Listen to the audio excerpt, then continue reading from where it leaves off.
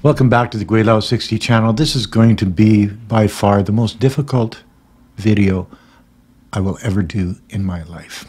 Back in 2018, and people that watch watch my channel know this. In 2018, Wei Fang was diagnosed with breast cancer here in in the, in Nanaimo on Vancouver Island, and uh, so she went through a mastectomy, and uh, she went through uh, chemotherapy she went through radiation treatments. She was she went through the whole uh, battery of, of you know with the, the no hair and and uh, bloating out. Chemotherapy was was was awful, and uh, this whole process took us about eighteen months. And uh, in uh, 2019, she was uh, declared cancer free, which is which is good. So we packed up our stuff and we moved back to our Chinese home. And every six months we would go up to, to Chongqing, to Robert, uh, a friend of ours' place. And uh, he's an oncologist at the military hospital in, in uh, Chongqing. We'd get, you know, her regular six-month scan for bone scan and CT scan to make sure that, uh, that uh, the cancer stays away. And we did this uh, every six months till, till January of uh, 2022 when uh, we went up and we basically went up we, we went up for the scans and stuff but to visit robert and, and go to restaurants. And it was it was like a week of fun for us. Each every six months we do this. Chongqing is a big city 33 million people. Uh, you know so it uh, don't mind me i'm having a couple of wines here today. So January 6th of 2022, she had her, her scans back, and Robert found three spots in her spine. The cancer was back. It was stage four, considered terminal cancer, and uh, we uh, came back to Canada, and uh, well, we she started her treatment. She had some radiation in Chongqing, and uh, we we got uh, five months of uh, palbociclib. It's a, it's a it's a hormone blocker that uh, tries to, because of the type of cancer she had, it was uh, hormone related. Uh, and she was on those palbociclib uh, that we bought in China up until May when her, uh, because you got to be back in Canada for three months uh, before, because we were expats. We, we, we'd stayed out of the country so long that um, that uh, her, our health care wasn't valid anymore. So we had to wait three months. So we had the palbociclib to, to cover that time period. And the doctors in in uh, Canada, you know, looked at what we were doing, and and they kept her on the same regime because it was the right thing to do. It was the the, the doctors in China and the doctors in Canada uh, were prescribing exactly the same method of of uh, of uh, drugs, I guess, medication. Let's call it medication, and uh, but that worked up until May of uh, of 2023. And uh, we did another CT and bone scan at that time, and uh, the, the palbociclib wasn't working anymore. And the drugs or the medications, they only work for a certain time period, then you've got to change. So we changed to exemestane, and that's that's just a pill every every day. Uh, and uh, was Weifang was feeling pretty good, so we we decided that uh, we were going back to China for a couple months. And uh, you guys uh, probably watched some of the videos that, that I did on the ground in, in China in April and May of this year, and part of June. And uh, so we so uh, because we had to be back in Canada for CT and bone scans, uh, we we got back I think April third or fourth, and uh, she did bone scans, and the exemestane wasn't working at all. So they changed her to a capecitabine. It's a chemotherapy pill, and she started taking about 50, well, 1,500 milligrams of capecitabine in the morning and then at night. And this went on, well, she did six cycles of, of this capecitabine, and it was, uh, it was hard on her. Uh, she started with the 3,000 milligrams a day, and uh, because it was so hard on her, she uh, they reduced it and reduced it, and then she was on 2,000 milligrams a day and after a sixth cycle, she just she couldn't take it anymore. Uh, so so we we stopped that, uh, and that's a couple weeks ago. three weeks ago. Now it's Remembrance Day, 11 11 2023. So, uh, so she she was weak. You know, I'd have to help her walk to to, to the living room to sit down, and you know, actually have to lift her into bed. She stayed at home, and you know, uh, she taught me so much. This is hard. yeah, uh, she she taught me so much that uh, how to be a good person, a better person. See, Wei Fang was the best person I ever knew.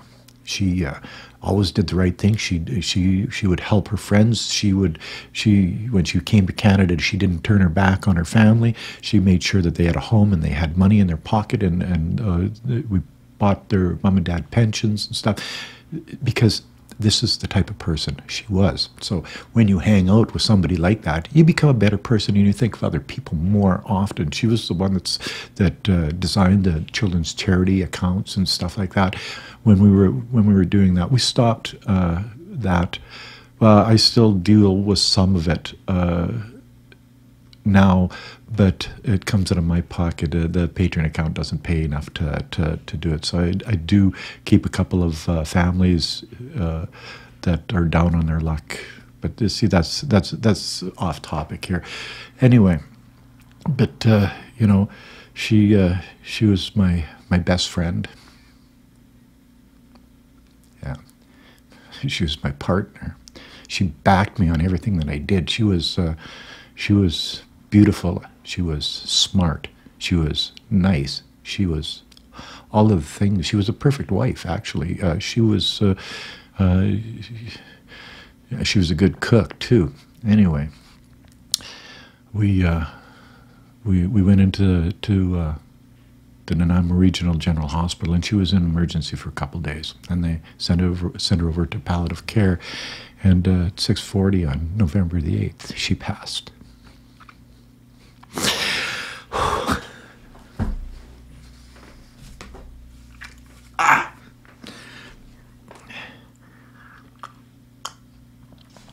This is by far the most difficult thing I've had to go through in my life. And uh, everybody that met her loved her. She made friends easy. She uh, she was very photo photo photo photogenic, as you can see. Like I'm watching what you're watching behind me. I'm watching that on on uh, on my computer, and that's why the tears are coming because I see her and see how how beautiful she was, how how her big smile. Uh, so, what where where does that leave me? Well, that's I guess that's part of this video too. Um, Wei Fang's dream was to live on Vancouver Island. Wei Fang's dream was to, uh, uh, you know, live this lifestyle, and uh, so we did. We I, I, bought her a home, and uh, well, actually a couple homes here, and uh, she lived out her, her, her final days living her dream. Uh, she was sick. She, she, she knew what was, was, was coming. I didn't talk too much about it on my videos because, uh, you know, respecting uh, her wishes that she didn't want people to feel sorry for her. That's the type of person she is. Okay. So, uh, I moved fairly fairly quickly, and Wei Fang and I talked about this before before she passed away. Um, that that I would sell the house. I would, because your brother's in Canada working as a as a Chinese cook, and he he lives with us here at our home in Nanaimo. Uh, because we're, we're, we we have cash and uh, see, I, I, stocked away a whole bunch of money because I figured that Wei Fang was going to outlive me. She's just about 11 years younger than I am. And I thought she was going to outlive me by 20, 30 years. She never smoked, she never drank, she didn't eat a lot of meat, mostly vegetables and fruits and stuff like that. She took care of herself, she exercised, she, she did all of the right things. It's just uh, sometimes luck kicks you in the ass. And that's what happened here. So uh, I'm, uh, I'm selling everything. Actually, I'm giving all my furniture away, uh, all of our clothes, all of our wall pictures, beds, whatever, are going to thrift stores or the restore or whatever. Uh, I've dropped off already 20 garbage bags. I thought Weifang didn't have a lot of clothes. I'm like, God, when uh, you start piling it into garbage bags, there's there was one garbage bag was just full of full of purses. Another garbage bag was full of shoes, and uh, you know I was packing it up. You go through the emotions. You you you remember what she was wearing, and, and, it's, it's it's it's you have to be there to understand what I'm saying. And uh, so I'm selling the house, and uh, I'm taking Wei Fang's brother back to China. Put him on an allowance.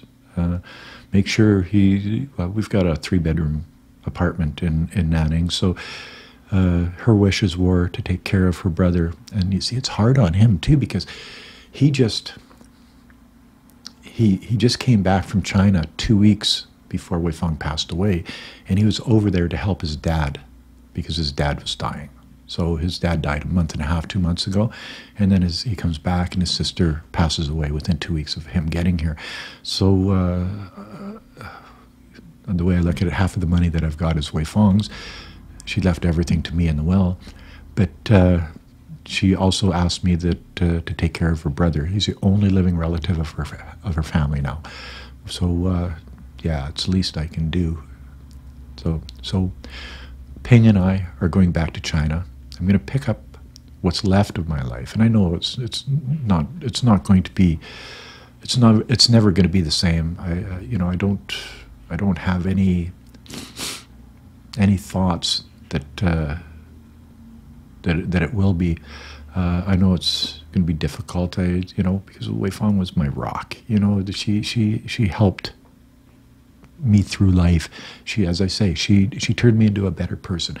Uh, she she taught me a lot, and uh, she taught me the good things in, in, in life and what's important, and uh, you know, friends and family, and uh, all of the money in the world wasn't uh, wouldn't save her. Um, so. So I'm going back to, to China. I'm going to leave Canada in the rearview mirror. I'm not going to come back here again.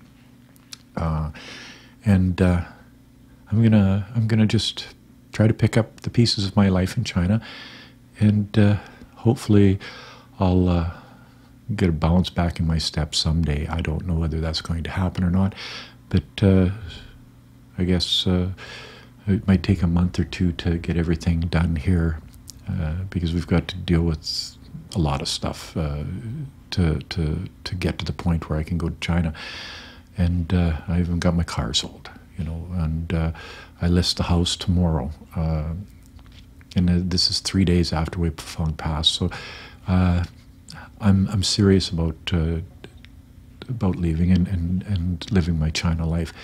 And so uh, I guess that, my friends, is another video from Gweilo 60. Wei Fang passed away on November the 8th at 6.40 p.m. And I have a hole in my heart, and it'll never be filled. And uh, until next time, thanks for watching.